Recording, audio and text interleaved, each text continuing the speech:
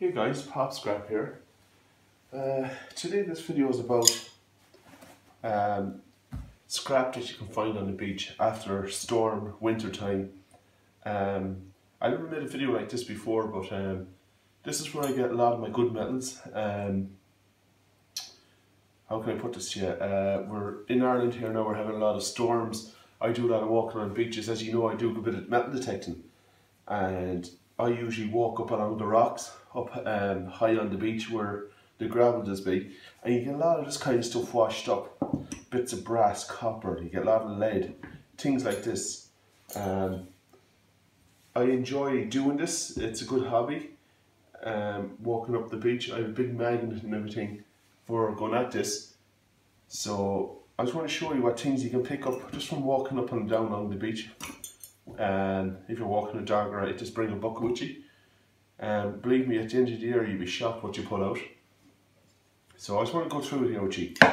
Um, as I said high up on the beach after storms corroding the sand it'll leave heavy bits heavy material after it.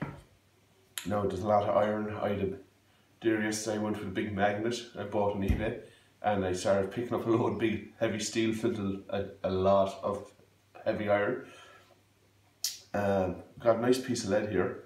Now I have another piece of lead, I don't know where it is, it's like a fishing weight, but it weighs something like a kilo and a half. Um, if I find it, I'll send a picture to you guys, I'll show you. So I've got a nice piece of lead. I want to test everything here. That's steel, even the bolt is um, magnetic. So that's a piece of steel, as I said, I pick it up when I find it. Get a nice piece of wire strippable wire. So I'll be stripping that. Uh, more nice strippable wire. Piece of aluminium, I presume, yeah. Nice piece of, piece of stainless. So, it's a nice little piece, piece of brass. Nice old piece of brass buckle. It's an old one. It's amazing what you find washed up on the beach.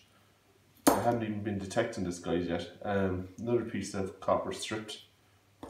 Um, I think this is a steering wheel. Uh, the gear stick. And nice piece of brass in that, which I'll find this. It's a thick piece of brass and copper here. So with copper and brass that have been on top. God knows what that's off. Maybe um, copper tank or something. That's a nice find. Hopefully it's all non-magnetic. There's a bit of magnetic in it. Don't mind that. It's pretty nice find.